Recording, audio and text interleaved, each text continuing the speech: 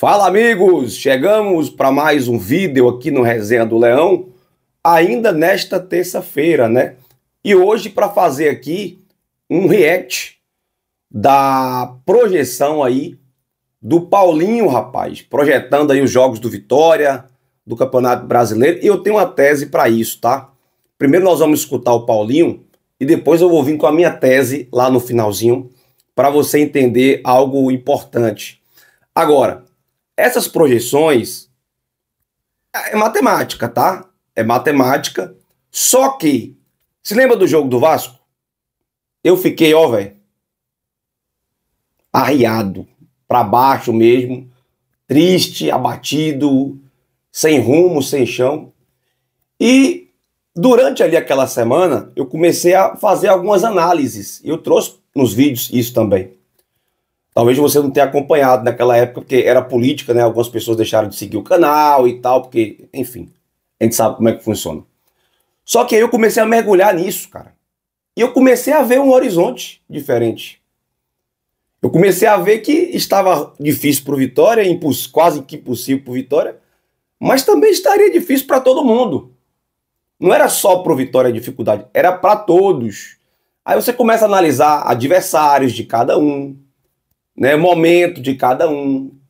E aí você começa a ter esperança. Eu me apeguei a isso, né, para voltar a acreditar que o Vitória era possível sair de uma situação difícil. Então nós vamos acompanhar agora o Paulinho. Antes eu quero pedir para você seguir o nosso canal.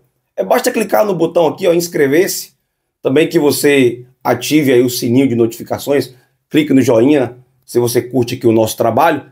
E lembrar que o nosso canal também tem um oferecimento de Uniagro, na Fazenda no Estádio Agro em todos os campos. Paulinho na tela para você. Estas 12 equipes estão nesse momento correndo risco de rebaixamento. Porque a exigência subiu a partir das três vitórias de Corinthians contra Atlético Paranaense, Fluminense contra o Flamengo, Vitória contra o Bragantino. Então a exigência acabou subindo. Aí entrou o Galo também na disputa a partir de agora. Repito, pessoal, são projeções matemáticas de uma exigência maior para o Dragão, para uma exigência menor para a equipe do Galo. Se você torce então para uma dessas 12 equipes, passar na sequência aqui o que o seu time tem que fazer a partir de agora para escapar do rebaixamento. Antes, confirmando o G6 do brasileiro: Botafogo 61, Palmeiras 60, Fortaleza 56, Flamengo 51, São Paulo 50, Inter 49.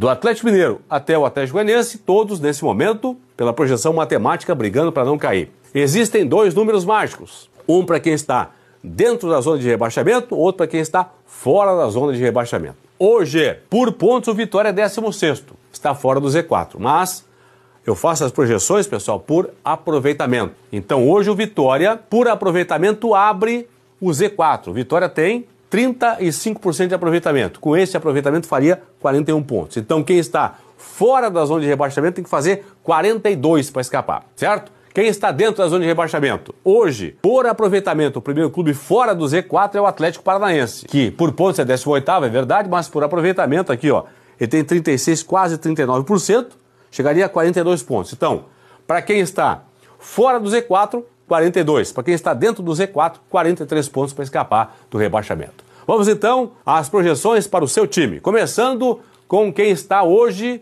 na zona de rebaixamento por aproveitamento. O Atlético Paranaense é o balizador. Esses quatro aqui, ó, Atlético Goianiense, Cuiabá, Corinthians e Vitória, no final do campeonato, para escaparem, tem que pelo menos estarem à frente do 16º colocado, que por aproveitamento é o Furacão, que tem 31 pontos, é verdade, mas 36,9% de aproveitamento, que daria a ele, Furacão, 42 pontos ao final do campeonato. Então, esta turma aqui tem que fazer um ponto a mais que a projeção do Atlético, então 43. O Atlético Goianiense tem 22. Para chegar a 43 faltam 21 pontos. Tem mais 8 jogos para disputar. 21 pontos em 24, que daria a partir de agora exigência de 87,5% de campanha do, do Dragão para o Dragão escapar do rebaixamento. Eu peguei aqui, pessoal, para efeito de base, para mostrar a realidade, mostrar o momento da equipe, peguei os últimos oito jogos do Atlético Goianiense. Três vitórias, um empate, quatro derrotas. O Dragão fez 10 pontos em 18 que disputou, em 24 que disputou, agora para trás. Campanha de 41% de aproveitamento. Então, Para escapar do rebaixamento, nas últimas oito rodadas o Atlético tem que fazer aumentar aqui em 46 pontos percentuais o seu próprio aproveitamento. Porque se ele repetir a campanha que fez nos últimos oito jogos de apenas 10 pontos, vai chegar a 32, vai cair. Cuiabá tem 27 pontos, mais 9 jogos para disputar. Cuiabá faz jogo atrasado nessa semana contra o Vasco lá no Rio de Janeiro. Então tem 27 pontos em disputa. Tem 27 pontos na tabela. Para chegar a 43, faltam 16. 16 em 27, o que dá campanha a partir de agora de exigência para o Cuiabá de 59%. Peguei os últimos nove jogos do Cuiabá. Duas vitórias, quatro empates, três derrotas. Fez 37% de aproveitamento dos últimos nove jogos o Cuiabá. Então, para o Cuiabá escapar, tem que aumentar seu percentual em 22 pontos percentuais a partir de agora. Porque se repetir a campanha dos últimos nove jogos, vai somar aqui, ó. Mais 10 vai chegar a 37, vai cair. Corinthians e Vitória, os dois têm 32 pontos, 8 jogos por fazer, para chegarem a 43, faltando aqui 11 pontos. Os dois precisam fazer campanha a partir de agora de 45,8% de aproveitamento. E aqui uma curiosidade. Peguei os últimos oito jogos do Corinthians e os últimos oito jogos do Vitória. Fizeram exatamente a mesma campanha. Três vitórias, dois empates, três derrotas. 45,8% de aproveitamento, pessoal. Aqui, ó. Eles fizeram os dois aqui nos últimos oito jogos, o que tem que fazer nas últimas oito partidas para escaparem. Então, se Corinthians e Vitória repetirem o que fizeram nos últimos oito jogos para trás, agora, nos próximos oito, vão escapar do rebaixamento. Certo? Então, pelo percentual atual do Atlético Paranaense, Corinthians e Vitória para escaparem precisam fazer mais 11 pontos. Cuiabá mais 16, Atlético Paranaense mais 21. É como eu falei, né, no início lá do, do nosso vídeo. Cada um tem suas teses, né, suas projeções, a forma de analisar. Mas sabe o que eu vejo, sendo muito sincero para você? O Vitória tem oito jogos para fazer, quatro no Barradão e quatro fora de casa. Eu acho que o Vitória tem que mirar nesse momento em pontuar em todos os jogos, nas oito partidas que faltam. Obrigação ganhar as quatro no Barradão, obrigação ganhar. Vai ganhar? Não sei, mas a meta é essa: ganhar os quatro jogos dentro do Barradão. E vou dizer outra meta aqui para você: ganhar do Criciúma e do Atlético Paranaense fora de casa. Eu acho que o Vitória tem que ter como, como meta ganhar esses seis jogos. Ganhar os seis jogos. E contra Botafogo e Flamengo, empatar pelo menos. Então, das oito que faltam, ganhar as quatro em casa, que é Fluminense, Corinthians, Fortaleza e Grêmio.